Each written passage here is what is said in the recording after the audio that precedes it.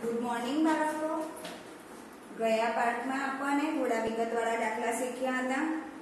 Chapter વનમાં સ્વાધ્યાય એક પોઈન્ટ બેના આજે ફરીથી એમાંના જે ત્રણ દાખલા, બે દાખલા બાકી છે તે હું પૂરા કરાવું છું. તો આપણને જોઈએ સૌથી પહેલો દાખલો, કે મોહન તેના બેંકના ખાતામાં બે હજાર રૂપિયા જમા કરાવે છે અને તેમાંથી બીજે દિવસે એક હજાર છસો બેતાલીસ રૂપિયા ઉપાડે છે. જો ઉપાડેલ રકમને ઋણ પૂર્ણાંક વડે દર્શાવાય અને જમા કરાવેલ રકમને કઈ રીતે દર્શાવાશે? પહેલો સવાલ આ હતો.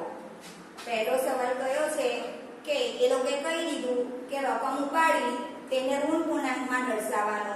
તો જમા કરાવેલ રકમને કયા પૂર્ણાંક વડે તમે દર્શાવી શકો? બોલો. જમા કરાવવાનો મતલબ કે અંદર આપણા ખાતામાં આવ્યા વત્તા થયા ઉમેરાય ઉમેરાયા એ માટે આપણને કયો શબ્દ વાપરીએ? છીએ ધન એટલે સૌથી પહેલો આપણો જવાબ પહેલો કયો મળ્યો? કે ઉપાડેલ રકમને ઋણ પૂર્ણાંક વડે દર્શાવાય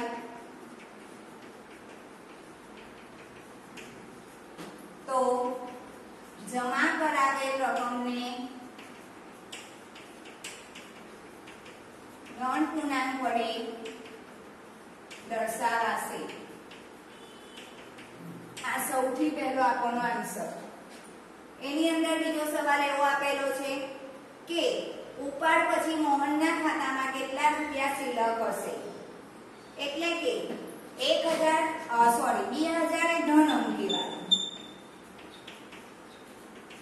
અને ઉપાડેલ રકમને ઋણ પૂર્ણાંકમાં સમજે એટલે 1642 એ ઋણ પૂર્ણાંક કહેવાય એટલે કે ઋણ અંક બરાબર એટલે કે ધન 2000 ઓછા 1642 બરાબર આ રીતનો આપણો દાખલો છે કે ધન ઉપાડ જમા કરાવેલ છે તો ધન એટલે 2000 અને ઉપાડેલ છે એટલે ઋણ એટલે ઋણ 1642 એનો મતલબ એવો થયો કે 2000 ઓછા 1642 વત્તા ઓછા ઓછા.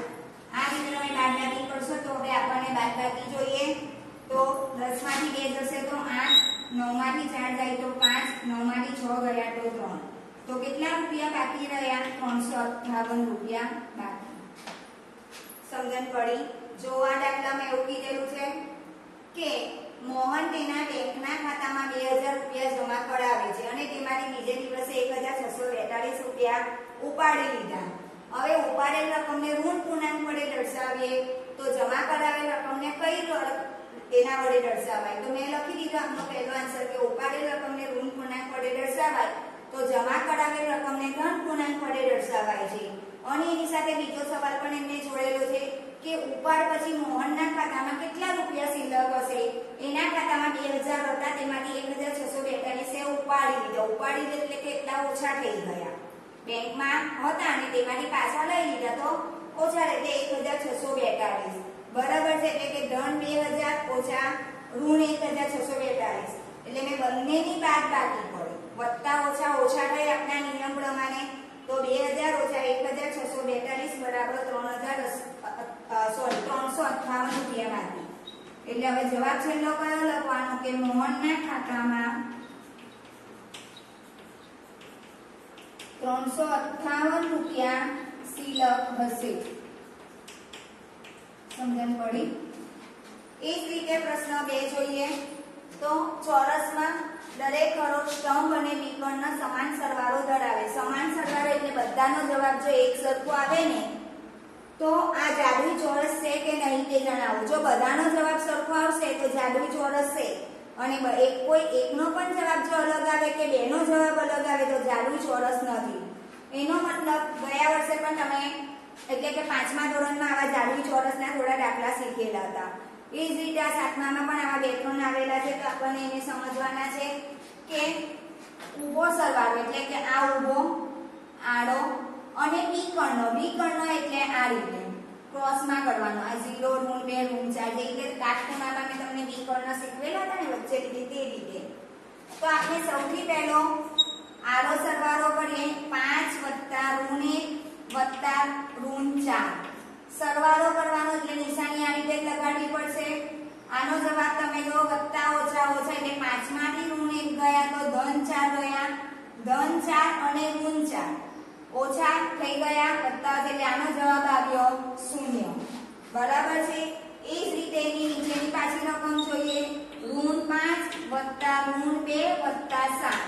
ઓછા ઓછા વત્તા, એટલે કે પાંચ ને બે કેટલા થયા? સાત. પણ ઓછા ઓછા વત્તા અને ઋણ પાંચ મોટા એટલે નિશાની પાછી ઋણ સાત જ થઈ જાય. એટલે જવાબ ઋણ સાત વત્તા સાત. ઓછા વત્તા પાછો આવે એટલે આનો જવાબ પણ આવ્યો શૂન્ય. એ જ રીતે નીચે ત્રીજો દાખલો શૂન્ય વત્તા ત્રણ વત્તા ગુણ ત્રણ. શૂન્ય ને ત્રણમાં ઉમેરે તો એનો જવાબ ત્રણ જ આવે અને આ ત્રણ ને તમે ઋણ ત્રણ વત્તા ઓછા ઓછા એટલે પાછો જવાબ કેટલો આવ્યો? શૂન્ય. આ આપણો આડો સરવાળો બધો પડી ગયો કે આડા સરવાળામાં બધાનો જવાબ શૂન્ય આવી ગયો. એ જ રીતે હવે ઊભો સરવાળો પણ આપણને જોઈ શકીએ છીએ કે 5 વત્તા ઋણ 5 વત્તા શૂન્ય એટલે કે વત્તા ઓછા ઓછા શૂન્ય આવી ગયું શૂન્યમાંથી શૂન્ય ગયો તો આનો જવાબ આવ્યો એ જ રીતે આપણને પાછો એની બાજુનો ઊભો સરવાળો જોઈએ. ઋણ એક વત્તા ઋણ બે વત્તા ત્રણ. આ ઓછા ઓછા વત્તા, એટલે ઋણ ત્રણ થયા. ઋણ ત્રણમાંથી આ ધન ત્રણ ચાલ્યા ગયા તો શું રહી ગયું? શૂન્ય. એ જ રીતે પાછો છઠ્ઠો ડાઘનો ઋણ ચાર વત્તા સાત વત્તા ઋણ ત્રણ. ઋણ ચાર ઓછા વત્તા ઓછા. ઋણ ચારમાંથી એટલે કે સાતમાંથી ઋણ ચાર ને બાદ કરો તો ઋણ ત્રણ રહી. હવે બરાબર છે એ ઋણ 3 રહ્યા પછી તમે જોશો કે ઋણ 3 વત્તા ઋણ 3 ઓછા વત્તા ઓછા. અને ઓછા ઓછા વત્તા એટલે આનો જવાબ આવ્યો કેટલો? ઋણ 6 આમાં જો જવાબ અલગ આવ્યો. ઋણ 6 આવ્યો. એવી જ રીતે આપણને સાતમો દાખલો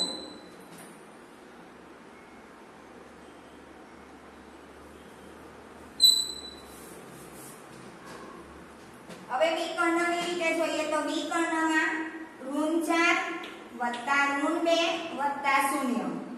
એટલે કે ઋણ ઓછા ઓછા વત્તા. એટલે કે ઋણ 6 ઋણ છ વત્તા ઋણ છ કરો તો આનો જવાબ કેટલો આવ્યો ઋણ 6 એ જ રીતે પાછો વિકર્ણ આ બાજુનો જોઈએ તો પાંચ વત્તા ઋણ બે વત્તા ઋણ 3 એટલે કે પાંચ ને ઋણ બે. એમાં તમે 5 ના ઋણ બે કરો તો વત્તા ઓછા ઓછા થઈ જાય. એટલે ધન ત્રણ આવે. ધન ત્રણમાંથી પાછા ઋણ 3 બાદ કરો તો જવાબ શૂન્ય હવે આનો તમે જવાબ જોશો તો ચોરસ નથી, કારણ કે એકનો જવાબ કેવો આવ્યો છે? ઋણ છ, બધાનો જવાબ શૂન્ય આવ્યો, પણ એકનો જવાબ અલગ આવે છે. એટલે આનો જવાબ લખાય કે જાડું ચોરસ નથી. સમજણ પડી?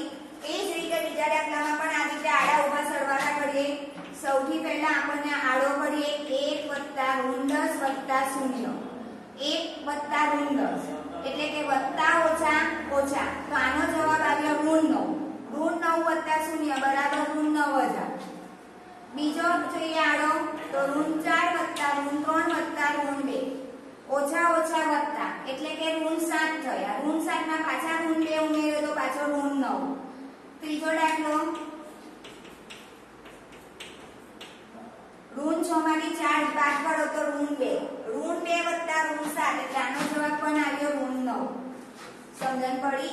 હવે ઊભો સરવાળો જોઈએ તો 1 વત્તા ઋણ 4 વત્તા ઋણ 6 આમાંથી તમે ઋણ 4 માંથી એક ગયા તો ઋણ 3 રહ્યા ઋણ 3 માં પાછા ઋણ 6 ઉમેરો તો ઋણ 9 એ જ રીતે પાછો બીજો દાખલો જોઈએ તો ઋણ 10 વત્તા ઋણ 3 વત્તા 4 ઋણ 10 અને ઋણ 3 બંને ધન ઋણ ઋણ છે એટલે સરવાળો થાય એટલે આનો જવાબ આવ્યો ઋણ 13 ઋણ 13 માંથી તમે ધન 4 બાદ કરશો તો એનો જવાબ આવશે ઋણ 9 બરાબર હવે છઠ્ઠો દાખલો જોઈએ તો 0 વત્તા ઋણ 2 વત્તા ઋણ 7 એટલે કે 0 વત્તા ઋણ 2 તો ઋણ 2 જ આવવાના. ઋણ 2 માં પાછા ઋણ 7 ઉમેરે તો આનો જવાબ કેટલો આવ્યો?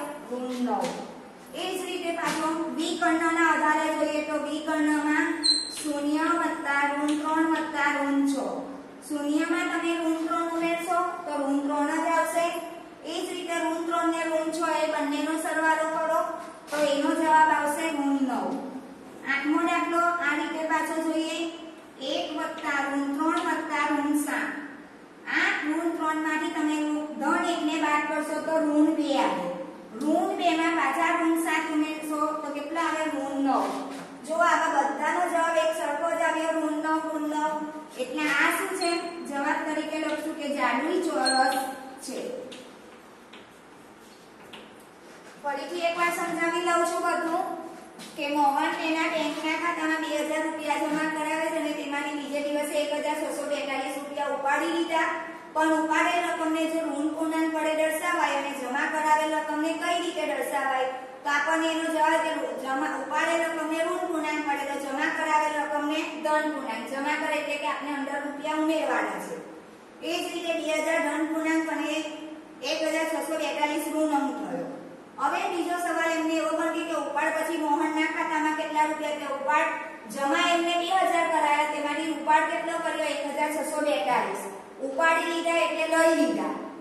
એટલે બાદ બાકી કરી એટલે એનો જવાબ આવ્યો ત્રણ ત્રણસો અઠ્ઠાવન રૂપિયા બાકી રહ્યા. બીજા પ્રશ્નમાં આપણને એવું જોયું કે ચોરસ આપેલું છે, એ ચોરસમાં જેટલી રકમ છે તેમાં દરેક કરોડ, હરોળ એટલે લાઈન સ્તંભ અને વિકર્ણ સમાન સરવાળો એટલે કે આડો, ઊભો અને વિકર્ણનો સરવાળો જો સરખો હોય તો એ જાડવી ચોરસ છે. અને સરખો ના હોય તો જાડવી ચોરસ નથી. એ રીતે મેં બધા જ આડો, ઊભો વિકર્ણ પ્રમાણે સરવાળો કર્યો તો આનો એકનો જવાબ અલગ આવ્યો એટલે આ જાડવી ચોરસ નથી. પણ આનું તમે જોશો, તો આનો બધાનો જવાબ તમે જોશો તો સરખો આવે એટલે આ જાડવી ચોરસ છે. બરાબર છે? સમજણ પડી? ચાલો.